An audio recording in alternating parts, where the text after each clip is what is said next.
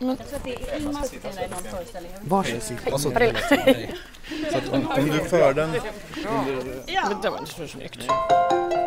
Kvinnorna Bergman, ja det är inte något litet ämne det. Det fanns ju de som trodde att han hypnotiserade oss Jaså? till att göra. Och då gick det för långt. Va? Försökte han det då?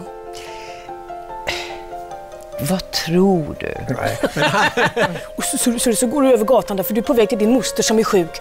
Och det där att lägga ner sån energi på en, liksom, på en statist som skulle göra någonting. Han kastade sig ju på golvet. Ja, ja, han gjorde Ja. kullerbyttor. Ja. Också otroligt fysiskt. Jag kommer ihåg med Jonas, han gjorde hela sceneriet, låg på golvet och kravlade. Och, gud, man tänkte nu dör den. Gud. Förbannade Gunnel Lindblom, nu, ska, nu vägrar hon ta kläderna.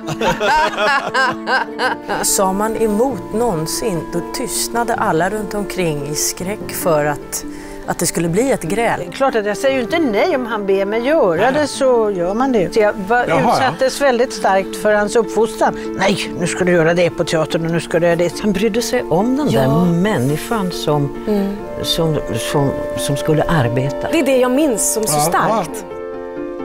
Han hjälpte mig att mogna som kvinna. Liksom, faktiskt. Var han en besvärlig regissör? Ja, Som person? ja det var han.